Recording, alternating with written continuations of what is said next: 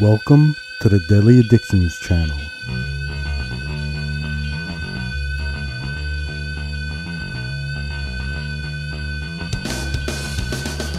Thank you for joining me. I'm going to be talking about the A Team TV show from the 80s. Now, this was a show that kind of scared me revisiting. I had this nostalgia for some old shows and going back. Starsky and Hutch, awesome, still holds up. Um, Bionic Man, for the most part, holds up for me. Maybe it's my love for them. CHiPs, fucking horrible. Things like that. The A Team, it's just fun. It holds up. I still watch it. I think the movie was pretty good.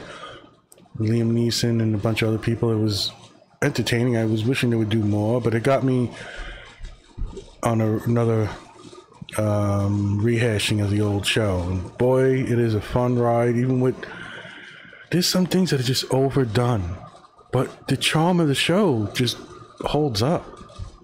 I think the show ran from 1983 to 1987. It starred George Peppard, Dirk Benedict, Dwight Schultz, and Mr. T. Uh, You had a couple of weird things, like the pilot, if I'm correct, Dirk Benedict wasn't Face Man. And it was some reporters, um, and people and like sidekicks that kind of changed over the seasons. Villains, obviously.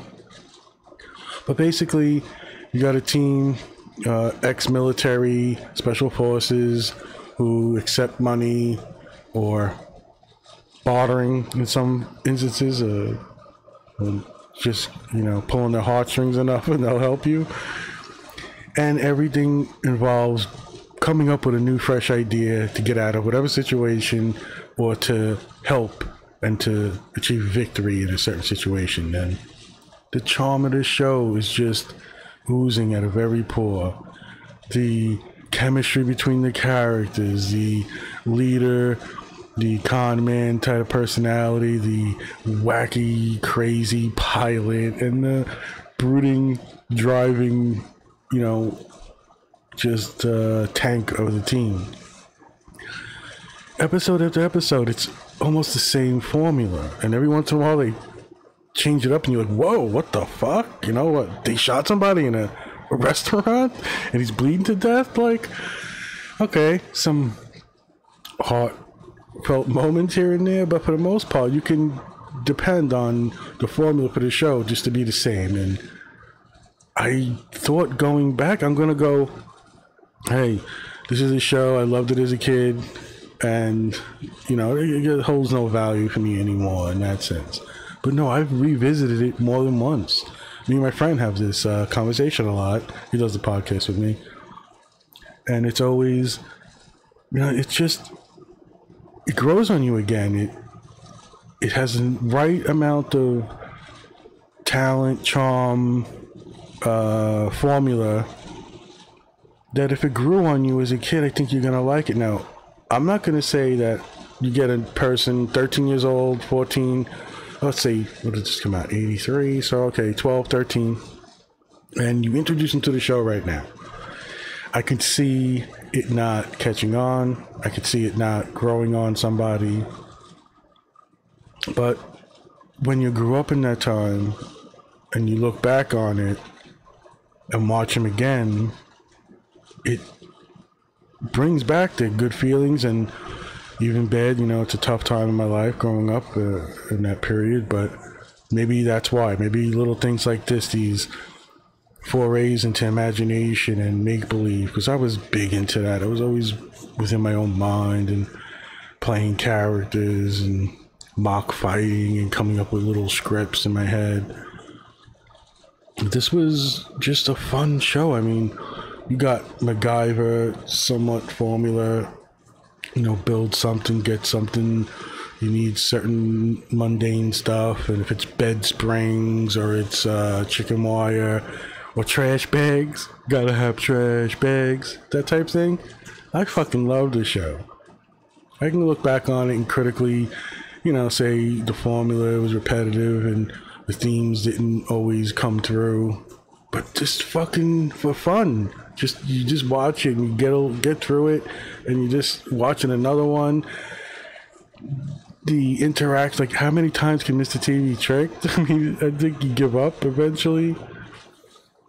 Just so much fun to watch, and the play between the characters is one of the most important things. I think the way Mr. T will act with um, you know, the crazy guy and Face Man's different.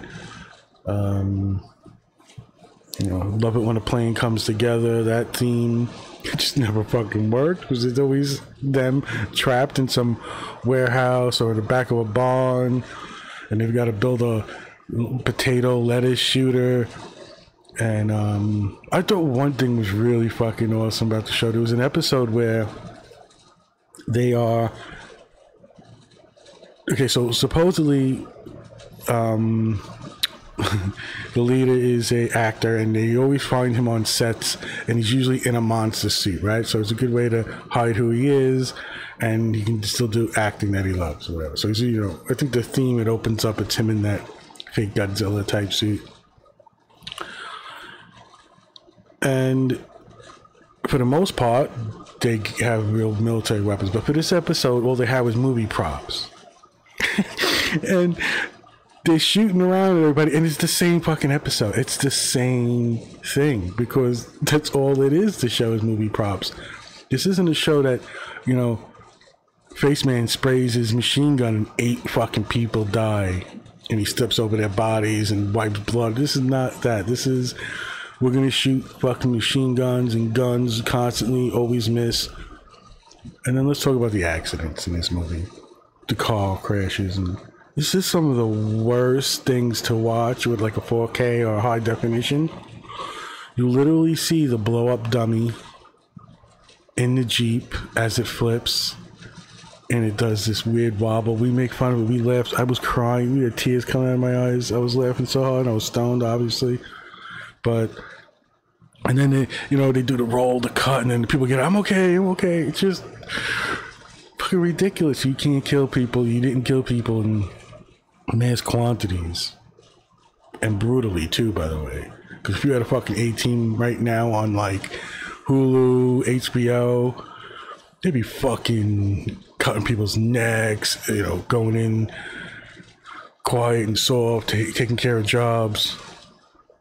It's just like, you know what, let's go to the noodle shop and maybe this guy will help us with the bully in the neighborhood or a gun runner or um, so on and so forth. And I think they used a like newspaper theme. You put an ad in the paper, and he'd be in. Uh, the leader would be in um, a disguise, like a you know cutting your hair. He's like, oh yeah, tell me about your problems, and and then he go, okay, we'll take the job. It's like little things like that.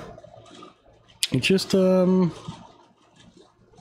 you know, something I know is not the best uh, example of um, high end TV shows, especially nowadays. But looking back and, you know, remembering the time I grew up, it's a real fun show. And I uh, look back on it, I watch it again here and there, I watch it again, and it just. It doesn't hit that alarm with me. It's like, oh, I roll my eyes and I gotta, you know, move on to something else. So, we got a bunch of um, talented people come together. It's offbeat comedy, trying to put in themes in, but they never really stick because of you know there's no real um, no stakes at most times, especially when you're in you know second or third season. Kind of know what's going on, and that's when they'll do you know a little theme here and there where um, I think one of them gets shot and is bleeding to death and that type of thing. And it's still, you know, got to get fucking crazy person out of his fucking jail or his ward, his psych ward. Um, we got a problem because uh, BA doesn't want to fucking take a plane. Got to give him some milk that's tainted. Um, you know, Face Man's got to fucking con airline tickets or a car or a boat or a fucking garbage truck, whatever the fuck they need. But I had so much fun. I'm gonna I'm gonna give it the thumbs up for something to watch. You want to get a piece of uh, the 80s, uh, the A Team is it. You can, you know, you're not gonna get the Wire and all these fucking new type show, uh, that type of um, you know those themes, and they're gonna be the tone's gonna be so real. But you know this special forces has to clear their name because they were you know kicked out of the army, so they're kind of like um, wanted, and that theme's always in it too. Uh, if they stay along too long, they stay around too long. Some military guy fucking picks up a phone, gets a phone call. Oh no! And then by the end of the show, oh shit! They look and military and the police are coming. So they, there is that scene too that they are um, you know, they're trying to clear their names in a sense. And more, if you look at my, I did a late one. I don't know if I put it out yet, but there's Burn Notice. And that's a great way of doing a lighthearted show with some tones, but bringing it up, making the stakes more. And it's his thing, like you got to clear his name, but they made it a major part of the show. This one, it, it didn't. It, it, you know, it came up every now and then. Uh, you know, here and there with some, you know, you get some actor you know, you know, and all of a sudden he's wearing a general's uniform, and you're like, oh shit, they're coming for him this time. They're gonna get him and they're gonna have to use fucking, you know, um, crazy glue and fucking nail polish to get out. That type thing. Fun show. I enjoy watching it again and again for some fucking reason, and I think the reasons are enough that new people would get into it. Be good, everybody. I'll talk to everybody next time.